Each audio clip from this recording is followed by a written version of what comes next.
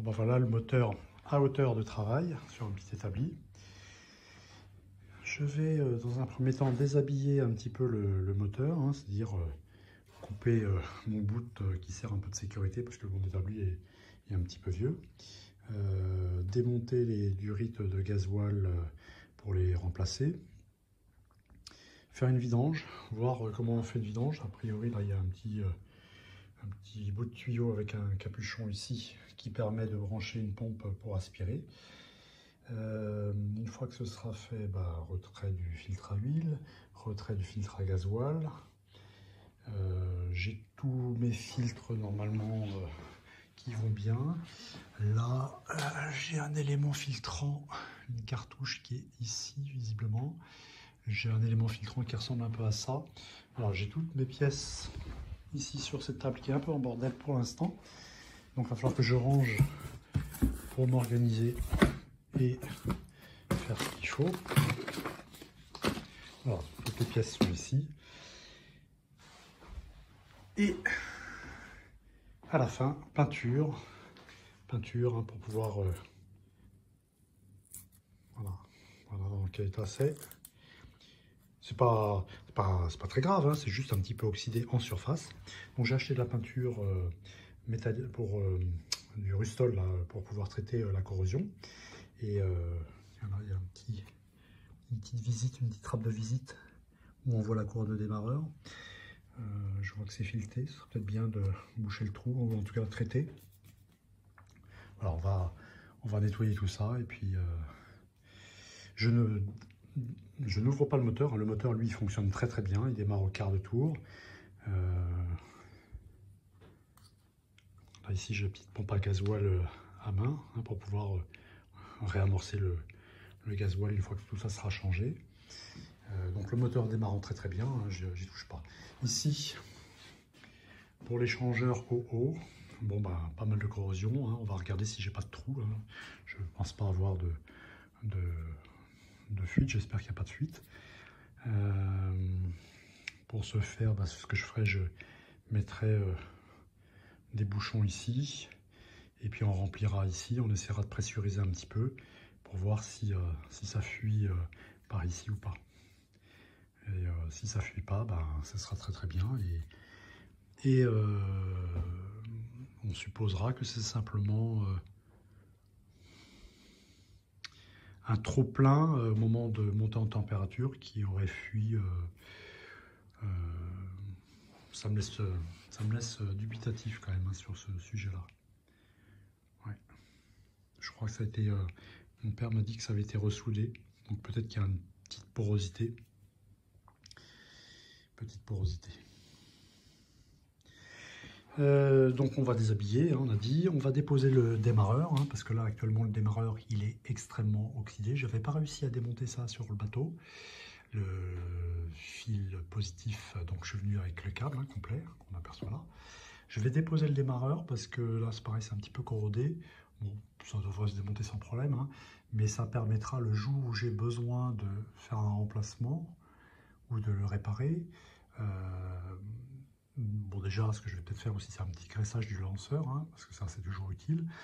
Le, fait de l'avoir déposé euh, avant de remonter ça sur le bateau permettra un redémontage plus facile le jour J. Du côté de l'alternateur, va s'occuper de l'ensemble des vis complètement oxydées j'ai pas réussi à dévisser aussi. Voilà, et puis après, les supports moteurs, hein, bien, bien mouillés. Une, peinture à faire euh, sur le bloc. Voilà. Les cylindres blocs sont à changer, ils sont neufs, enfin j'ai ce qu'il faut pour les changer.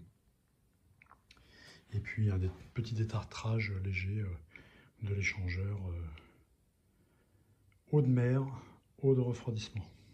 Voilà le programme. C'est parti dans un premier temps pour ranger ça. Bon alors vidange du moteur, hein, c'est ma première vidange que je fais sur ce moteur là. Ici, euh, en bas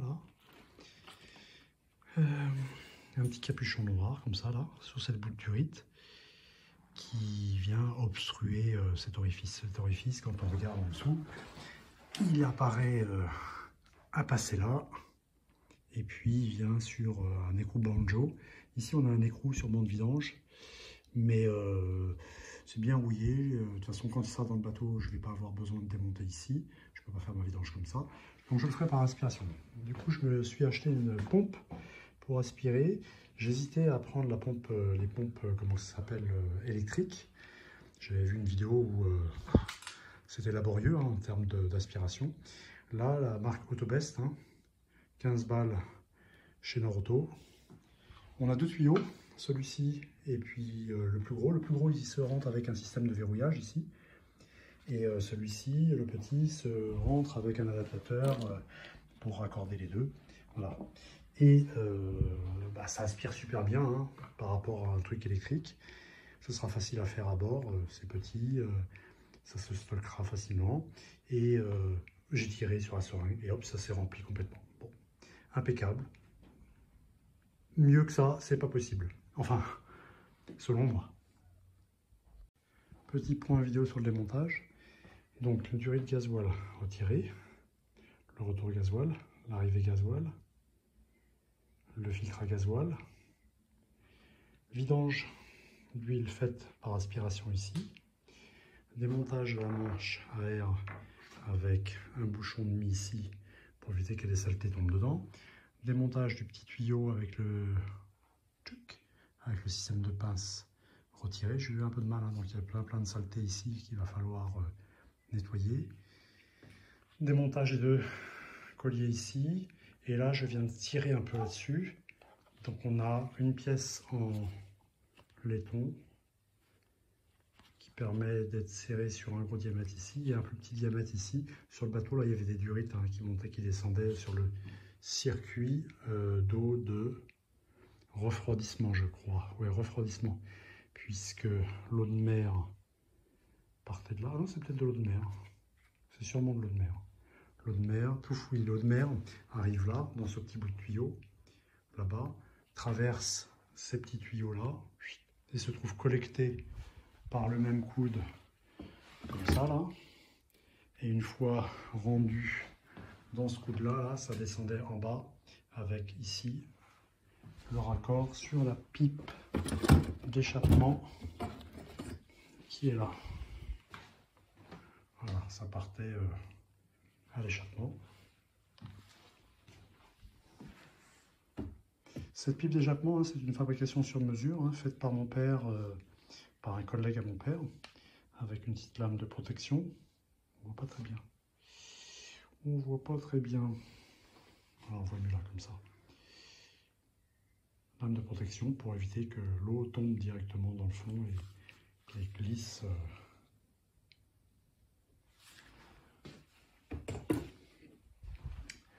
Donc le point est fait. Il faut que je, si je démonte l'ensemble de l'échangeur, si je les monte, hein, il faudra que je revoie un point de fixation ici. Ça, ça va venir normalement. Voilà, quand je le tourne, je vois que ça tourne un peu là-bas le démarreur, le fil du démarreur va s'occuper, l'oxydation ici, on va, je vais déposer le circuit électrique, donc circuit électrique, là ici j'ai un fil bleu et blanc, là j'ai un aller-retour bleu, on se demande pourquoi, ça passe en dessous là, comme ça, le fil rouge ici, c'est l'alimentation des bougie de préchauffage, et ça s'en va dans le faisceau qui est là. Ça raccorde le faisceau ici, ce faisceau rentre dans la grosse boîte qui est là. Donc il y aura après à voir euh, donc la masse là en bas. Je crois que la masse, j'ai pas dû réussir à la défaire, cette masse là. Je la dépose pour bien la désoxyder, parce que ça se trouve, toute cette oxydation, ça peut provenir aussi de là, avec une mauvaise masse.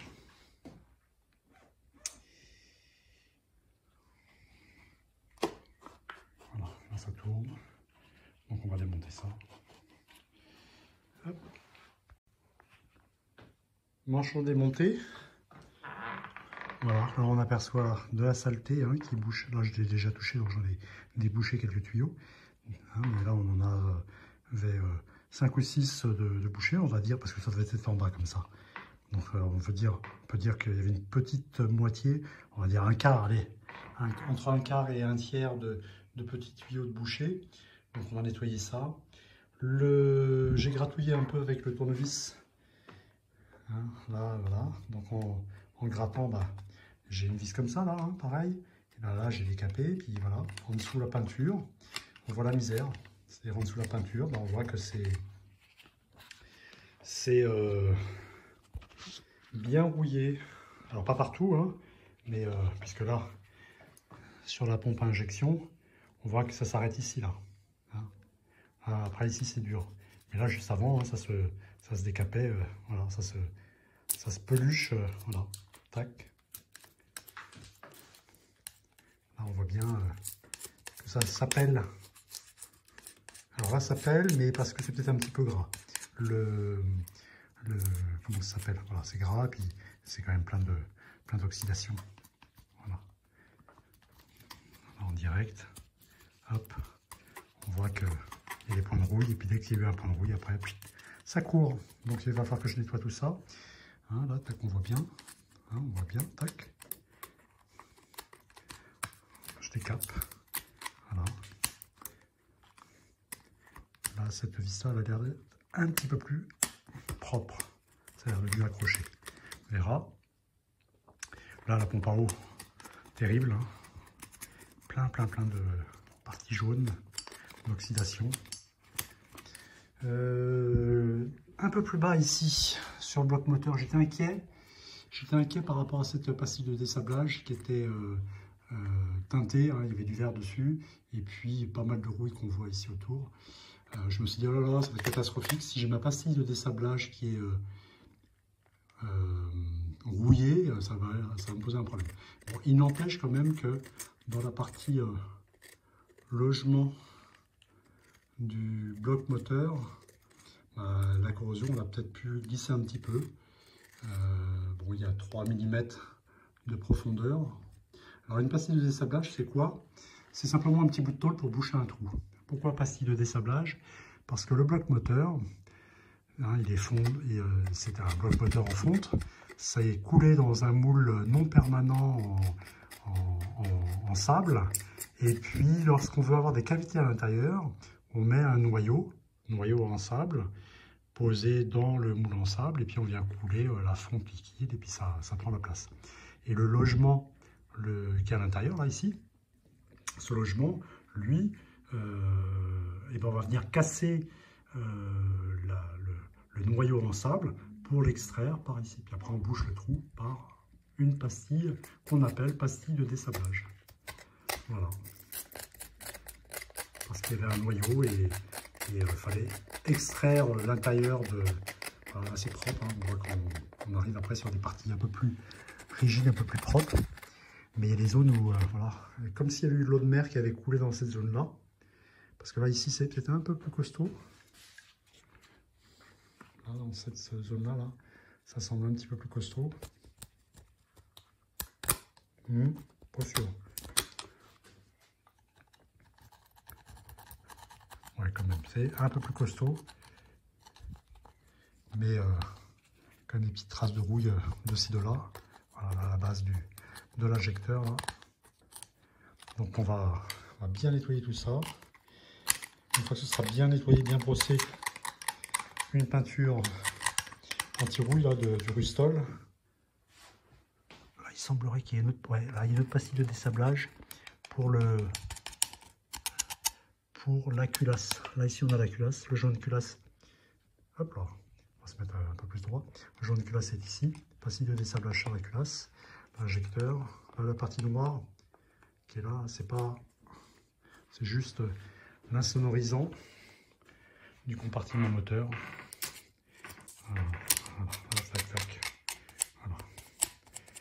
Là, on voit que la fonte, elle est belle, hein. elle, est, grise, brillante. Puis d'autres endroits où c'est rouillé. On va falloir bien frotter.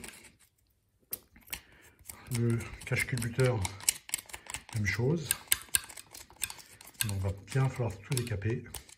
Et puis mettre du rustol partout pour pouvoir euh, bah, traiter l'anti-rouille, hein, que ça ne revienne pas.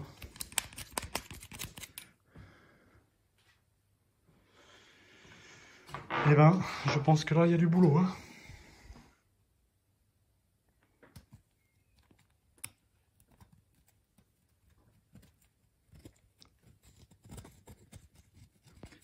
Savoir comment faire pour éviter, euh, comme s'il y avait eu un, problème électrique.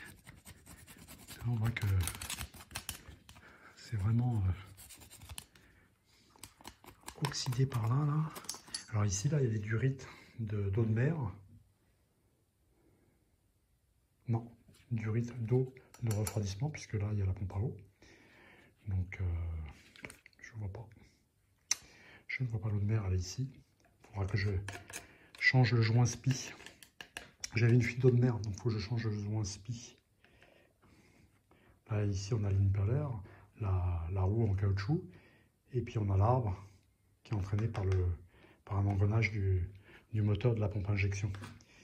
Et euh, ça, ça vaut une blinde, la, la, pompe, la pompe à eau. Là. Donc on va... J'ai pris les roulements. Bon, je pense pas que les roulements aient besoin d'être changés. Mais euh, le, joint SPI qui est ici, là, il faut qu'il soit changé parce que j'avais une fuite d'eau de temps en temps. Là, quand on a sorti le moteur, j'avais pas de fuite d'eau. Quand on a sorti le bateau, le moteur, j'avais pas de fuite d'eau. Mais avant, hein, l'été dernier, il y avait pas mal d'eau qui, qui coulait ici. Donc on va faire ça propre. On va gratouiller.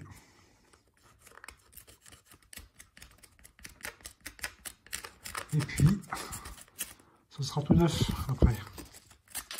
C'est pas beau à voir, hein, quand on gratouille, avant de gratouiller là, c'est vraiment pas beau. Une fois que c'est gratouillé, on sent que c'est mieux. Donc là, la commande de gaz pour la pompe à injection. Euh, non, ça c'est le, ça c'est l'étouffoir. La commande de gaz, ça va être ici. Hmm, l'étouffoir ici et commande de gaz ici. Je sais pas. Bon. On verra. Je ne sais plus. Sur les vidéos juste avant, c'est vu.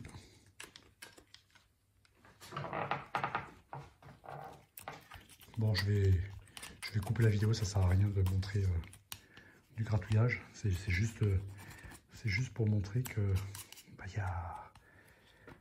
y, a, de la corrosion. Là, ça s'est pelliculé les bougies de préchauffage à la base, elles sont, d'origine hein, puisqu'elles sont encore vertes.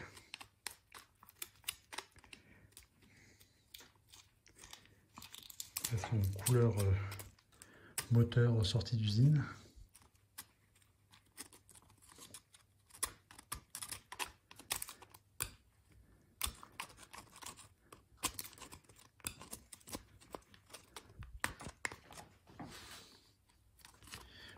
Pas démonter les, les durites d'injection, tout ça, ça reste en place.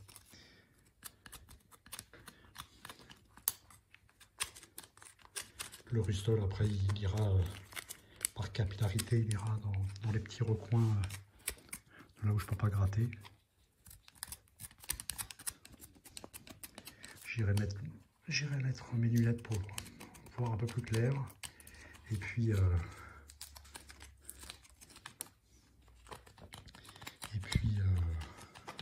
d'éclairage. Sûrement que là sur la vidéo, avec un grand écran, on doit y voir clair. Mais moi j'ai... Oh, ça fait du sable carrément. Oh la vache.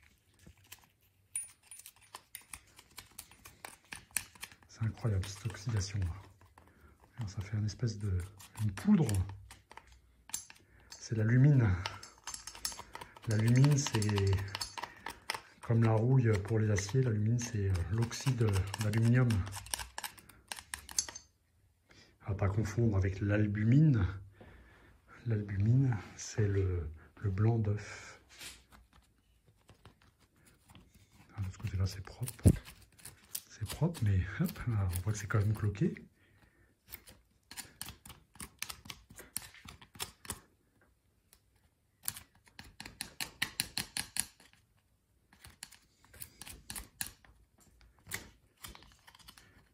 Puis il y a des endroits où c'est pas cloqué, puis euh, voilà. Donc il va y avoir une belle couche d'après pour pouvoir euh, éviter la rouille.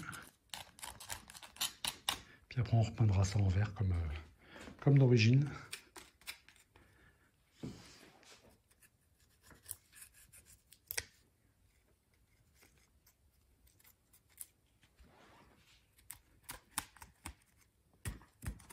il y a le, démarreur. On y verra plus clair par là.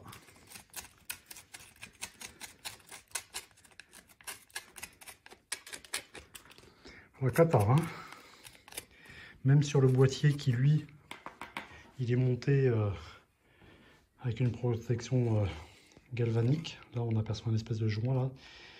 Les vis, elles sont montées avec un petit fourreau euh, pour éviter qu'il y ait une conductivité électrique entre le carter et la, boîte inverseur. Mais on voit quand même qu'il y a eu... voilà.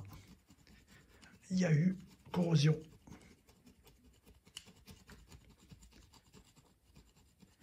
le symbole pour dire que c'est pas la peine d'aller chercher la masse là-dessus puisque c'est pas mis à la masse, puisque c'est protégé. Alors c'est bizarre parce que de ce côté-ci, là, sur ce support moteur, j'ai une masse qui était fixée là. Donc je sais pas, on ne prend pas.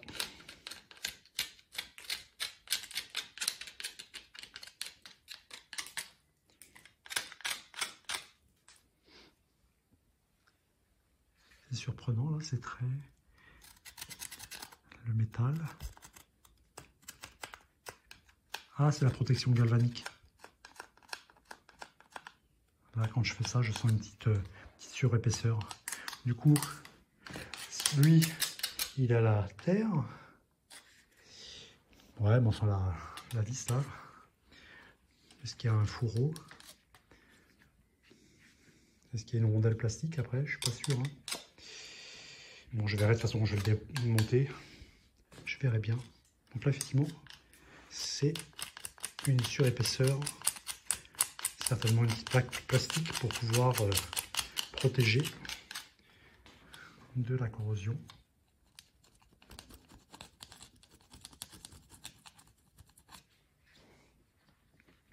Alors à l'origine, là, cette partie-là, elle n'est pas euh, circulaire, elle est rectangulaire. On aperçoit le rectangle ici, ça veut dire que ça a été bouffé par les gaz d'échappement ici.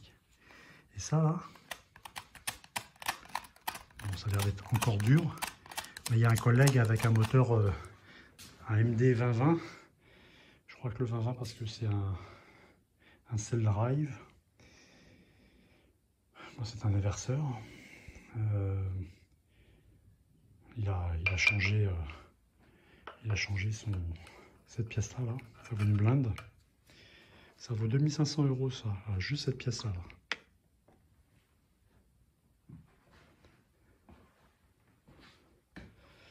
Bon, je vais déposer cette partie-là. On va nettoyer un petit peu la partie cylindrique là, pour que ça puisse euh, passer plus facilement. Et puis, euh, et puis on nettoie, on nettoie, voilà c'est plein de sable. On va passer aspirateur. Voilà. Référence 870 087 Volvo Penta hein, pour avoir la, jauge. Là, j'ai regardé sur internet. Hein. On va commander une jauge complète parce que le joint torique ne peut pas être serré. Le niveau est bon, il faudra vidanger simplement. D'ailleurs, je vais faire la vidange. Je vais attaquer le moteur euh, pour le nettoyage, pour le démontage des différentes pièces dans ce sens-là, de façon à pouvoir avoir un ordre, au moins ça m'évite de passer d'un côté à l'autre. Euh, ou alors, je fais d'abord la partie électrique, je dépose la partie électrique. Moi, je vais d'abord faire la partie électrique, puis ensuite je ferai un ordre comme ça de progression. Voilà. Bon, petit déblocage de l'écrou qui est ici. C'est du 7, euh, du petit 7, hein, ça doit être du 6,5 ou peut-être une taille anglaise. Donc là, c'est débloqué. J'ai mis un peu de WD-40 sur cet euh, écrou-là parce que là, c'était plein plein de rouille, j'ai gratté un peu. J'ai réussi à démonter le fil positif de, sur le démarreur. Alors, derrière, j'ai un autre fil, un, double fil. Celui-ci, le double fil qu'on aperçoit là. Il remonte dans le faisceau, je crois, dans le faisceau qu'elle a. Euh, derrière, au niveau du lanceur, j'ai un petit fil. Voilà, j'ai un petit fil rouge et jaune que je vais déficher. De ce côté-là, je dois avoir un capteur de température ou euh, capteur de pression d'huile, je sais pas. Il est marron et il est marron et, blanc. Donc je vais le débrancher. Une pince. De l'autre côté, ici, ce petit fait, ce gaine là s'en va de ce côté-ci. Là j'ai un petit riselant que je vais défaire. Et du coup, arriver ici, ça, ça un capteur de température, je pense, parce qu'on est vraiment sur la culasse dans l'angle. Et donc, du coup, voilà, on a ça. Après, fil euh, d'alimentation bougie de préchauffage pour les une, deux et trois bougies. Le faisceau pourra partir avec la boîte qui est là, que je vais déposer. Voilà, ça me permettra d'y voir plus clair. Le démarreur, on va le déposer. Donc là, il y a deux vis, ici et ici. C'est parti. Donc à noter pour l'alternateur que c'est le noir et gris sur la borne W à côté du D+. En dessous sur le D-, c'est bien un noir complet noir bleu et puis euh, la masse moteur ici. Donc là, le marron et blanc cosse ronde, cosse ronde sur celui-ci. Et puis, et puis là devant, donc là c'est un bleu, voilà, avec la petite vis euh, qui a été retirée. Voilà. Donc là il ne reste plus qu'à défaire sur l'alternateur les deux fils, le noir gris et le noir pour pouvoir tirer le faisceau complet de ce côté-ci. J'ai encore cette vis-là à défaire. Dépose l'alternateur, on y voit beaucoup plus clair. Dépose donc du faisceau électrique et de sa boîte ici. L'étiquette euh, MD 2030 euh, s'est décollée toute seule. J'ai gratté un petit peu autour des vis, hein. c'était plein de petites cloques. Là, j'ai pas fini. Donc là, a priori, 6 vis et deux goujons, peut-être, hein, qui viennent se visser là, là, là-bas, pour le tuyau d'échappement. Euh, avant de défaire ça, que je me fasse une petite sécurité par rapport à ça. Il faut que je vienne chercher une corde sur le support moteur ici. Euh, on voit bien la misère, hein, misère de corrosion. Voilà. Le démarreur, hein, j'ai gratté un petit peu, ça part, euh, ça part euh, en lambeau là.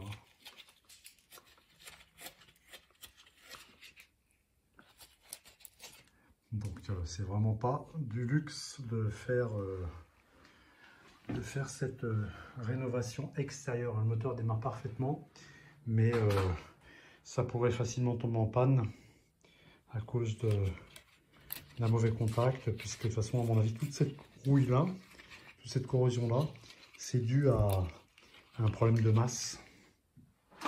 Je pense que les masses, là, par exemple celle-là, elle est complètement rouillée. Et euh, d'ailleurs, à côté de la masse, hein, hop là, ça se, ça se désagrège très très facilement. Alors probablement que ici, il y a eu aussi euh,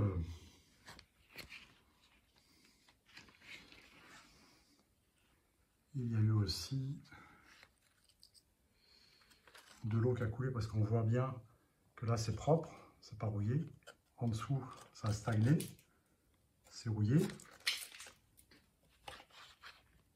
Alors c'est rouillé en surface, hein, ça fait une cloque. Ça c'est sous la peinture. Hein. Et puis là, à nouveau, en dessous, le moteur.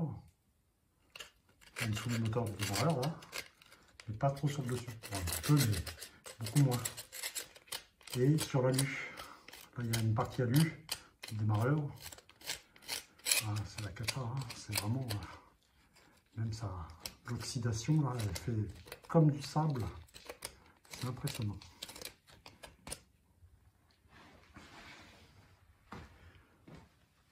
comme pour ici. Ah, pareil, hein, le boîtier.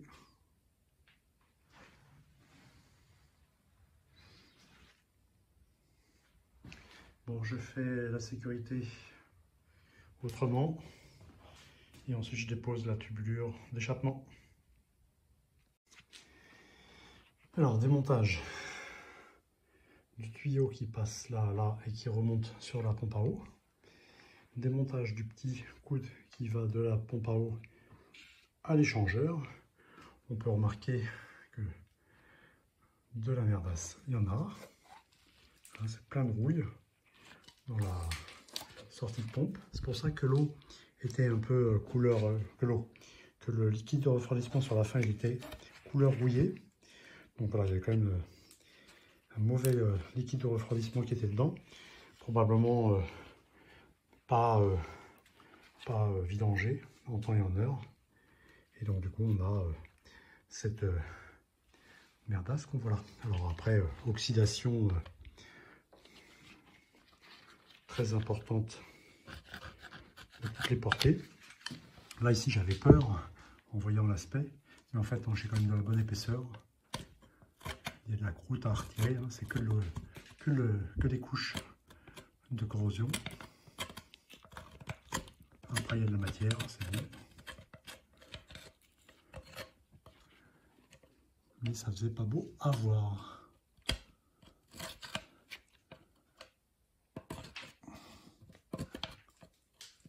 décapera ça plus facilement quand ce sera démonté.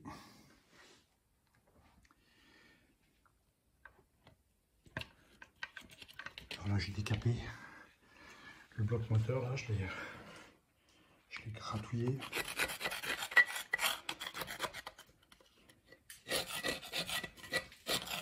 C'est parti par plaque, plaque de rouille et, peinture. C'est superficiel, hein. mais bon, euh, un peu comme là. pareil.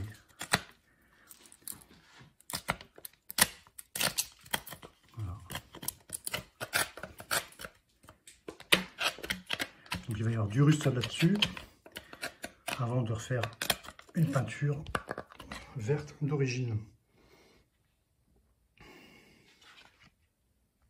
Donc finalement en démontant la plaque de tension pour l'alternateur, j'ai jeté un œil quand on regarde bien à l'intérieur, ben, on voit le thermostat là. Donc il est dans le boîtier de pompe à eau. Ça veut dire qu'il faut démonter la pompe à eau pour accéder au thermostat. Ce qui est logique, hein, euh, le thermostat est près de la pompe à eau.